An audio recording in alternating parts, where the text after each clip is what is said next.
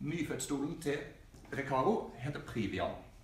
Det er en av de letteste stolene på markedet, og den kan også festes på en del barnevogner ved bruk av en adapter.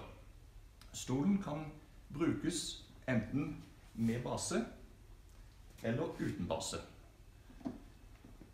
Den har et spedbarnsinnlegg som en tar ut når barnet er blitt større.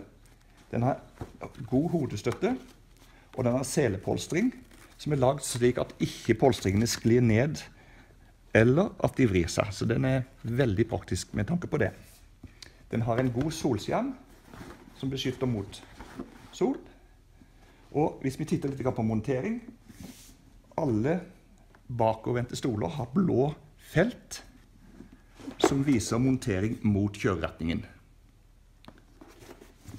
Hvis vi tenker på montering Den delen av selen som vi har over vår hofte, skal barnet ha over sin hofte.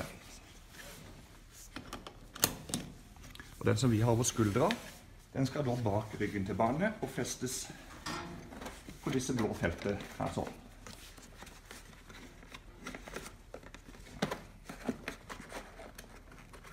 Da ligger den på plass der.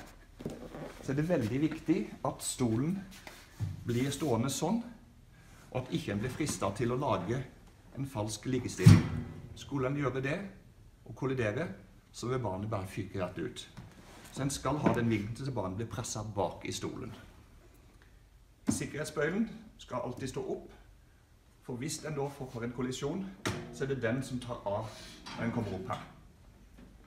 En må huske at den skal ikke stå i posisjon bak her, for da er det ingenting som stopper. Hvis en bruker base, som de aller fleste gjør i dag,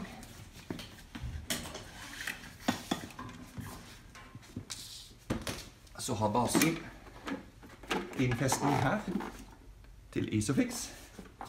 Da er det bare å føre den inn og klikk, klikk. Da lyser det grønt på begge Isofix-festene, høyre og venstre. Og så har vi et støttebein, som da blir montert riktig, så lyser det grønt. Og når en da plasserer stolen slik, så lyser det grønt på alle felt. Og da vet en at den har gjort det riktig. For å løse ut stolen igjen, så er det håndtaket her. Klemme og løfte av.